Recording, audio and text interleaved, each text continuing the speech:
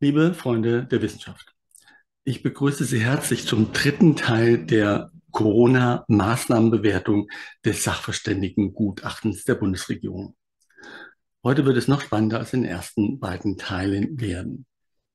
Denn dieses Mal werden auch konkrete Zahlen zum Nutzen sozialer Auskantungsmaßnahmen, wie etwa der 2G-Regelung genannt. Bleiben Sie also unbedingt dran. Es wird spannend und auch ein bisschen gruselig werden. Zunächst aber bewerten die Gutachter die Lockdown-Maßnahmen. Und diese Bewertung hat mich vom Hocker gerissen. Um keinen Fehler zu begehen, lese ich diese wichtige und erschreckende Bewertung vor. Aufgrund der biologischen und physikalischen Plausibilität gibt es keinen Zweifel, dass die Reduktion enger physischer Kontakte zur Reduktion von Infektionen führt. Pünktchen, Pünktchen, Pünktchen. Einschränkend ist allerdings festzuhalten, dass sich die Stärke des Lockdown-Effekts aufgrund fehlender wissenschaftlicher Begleitung, Kontrollgruppen und Erfahrungswerten nicht kausal und umfassend abschätzen lässt. Das darf ja wohl nicht wahr sein. Wir wollten doch endlich mal Evidenz sehen. Wir wollten Beweise dafür haben, dass die Einschränkungen wirklich einen Nutzen hatten. Stattdessen wieder nur Plausibilität. Wenn soziale Kontakt reduziert wird, na, dann müsste das doch was bringen. Ja, wenn ich von jedem Menschen zehn Meter Abstand halte, kann ich mich wohl nicht mehr anstecken. Aber sind nun 1,5 Meter ausreichend? Oder geht auch ein Meter? Oder sollten es doch zwei Meter sein? Und was für einen Schaden richten die Abstandsregeln an? Und es gab ja auch mal das nächtliche Ausgangsverbot, um Kontakte zu reduzieren. Wir durften zeitweise ja noch nicht einmal auf einer Parkbank im Freien sitzen. Gibt es eigentlich Erkenntnisse zum Nutzen oder zum Schaden solcher Maßnahmen? Nein, nichts. Es müsste plausibel sein. Und selbst diese vage Abschätzung wird von den Gutachtern selbst sogar noch relativiert nämlich, dass sich die Stärke des Lockdown-Effekts aufgrund fehlender wissenschaftlicher Begleitung nicht kausal und umfassend abschätzen lässt. Das ist nichts anderes als ein ohnmächtiges Eingeständnis des eigenen Unwissens. Und es ist sogar eine Schuldzuweisung an die Politiker, die es versäumt haben, ihre freiheitseinschränkenden Maßnahmen begleitend zu erforschen, um wenigstens für spätere Lockdown-Maßnahmen eine rationale Legitimation zu erlangen. Nicht einmal der Versuch dazu wurde seitens der Politik unternommen. Herr Lauterbach, wie fühlt man sich eigentlich, wenn die eigenen Gutachter einem die unterlassene Begleitforschung wiederholt um die Ohren hauen? Auf Seite 84 beginnt endlich die Diskussion um die isolierenden und diskriminierenden 2G- und 3G-Maßnahmen. In der Kosmos-Studie der Uni Erfurt lehnten knapp 90 Prozent der befragten ungeimpften Personen Beschränkungen ab, die über 3G hinausgehen.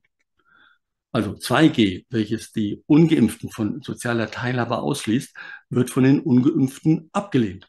Welche Überraschung. Interessant wäre hier mal gewesen, wie die Geimpften dazu stehen. Ob sie sich etwa mit den Ungeimpften solidarisieren und sagen, das 3G reicht, also Teilnahme an Veranstaltungen, Kino, Restaurant etc., wenn ein negativer Test vorliegt, oder ob die Geimpften der sozialen Ausgrenzung der Ungeimpften zustimmen. Dazu gibt es aber leider keine Daten. Was sagen die Gutachter denn nun zu 2G und 3G? Sie berichten auf Seite 85, dass die 2G-Regel gegenüber der 3G-Regel theoretisch den Vorteil hat, dass sich Infektionen unter Geimpften weniger häufig ausbreiten. Wie bitte? Sollten sich die Menschen denn nicht impfen lassen, damit sie geschützt sind und nicht erkranken? Und jetzt behaupten die Gutachter, unter 2G seien sie aber noch besser vor den Ungeimpften geschützt. Aber die sind doch durch 3G gerade frisch getestet und haben wahrscheinlich eine geringere Wahrscheinlichkeit, das Virus in sich zu tragen, wie ein vor fünf Monaten geimpfter, dessen Impfschutz schon wieder stark nachgelassen hat. der sich aber bei 2G ja nicht testen lassen muss, weil ja theoretisch virenfrei ist. Beweise für die Theorie, dass 2G die Geimpften besser schützt als 3G, bleiben die Gutachter, mich wundert schon gar nichts mehr, natürlich wieder einmal schuldig. Aber jetzt kommt das Dicke. Wenn auch zwar keine richtige Feldforschung zu dieser Frage stattfand, was das Beste gewesen wäre, gab es immerhin ein mathematisches Modell, um den Nutzen von 2G abzuschätzen. Wegen der großen Bedeutung dieser Passage werde ich diese wiederum vorlesen. Um die Effektivität von 2G und vergleichbaren Regelungen abzuschätzen, haben Prosser et al. ein mathematisches Modell entwickelt, die Number Needed to Exclude. Okay, das hatte ich bis dahin auch noch nicht gehört. NNE, analog zu den bekannten Indikatoren Number Needed to Treat beziehungsweise Number Needed to Vaccinate. Die Berechnungen erfolgen auf Grundlage der epidemiologischen Charakteristika der Delta-Variante. Hier zeigt sich eine NNE von 1000, was bedeutet, dass mindestens 1000 ungeimpfte Personen vom gesellschaftlichen Le Leben, zum Beispiel Arbeitsplatz, öffentliche Verkehrsmittel, ausgeschlossen werden müssten, um eine, eine SARS-CoV-2-Infektion zu verhindern. Dies wird darauf zurückgeführt, dass die Ansteckungswahrscheinlichkeit in den Bereichen, für die ein solcher Ausschluss durchführbar ist, ohnehin vergleichsweise gering ist. Gleichzeitig sind aber empfindliche Schäden anzunehmen, zum Beispiel Arbeitsplatz, soziale Teilhabe. Seite 87. Ich fasse noch einmal zum Mitschreiben zusammen.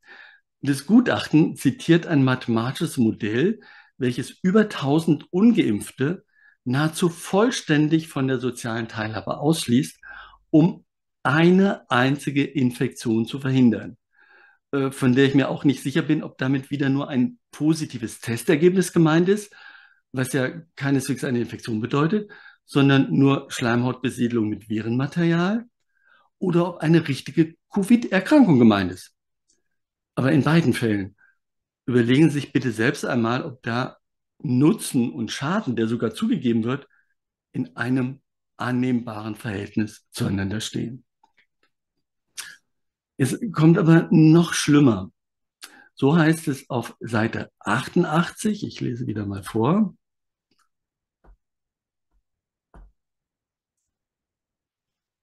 So wird auch in der Stellungnahme der Max-Planck-Gesellschaft zu den Maßnahmen davon ausgegangen, dass es bei einer guten Erkennung der Infektion von 75 Prozent keinen Unterschied zwischen 2G und 3G-Veranstaltungen gibt.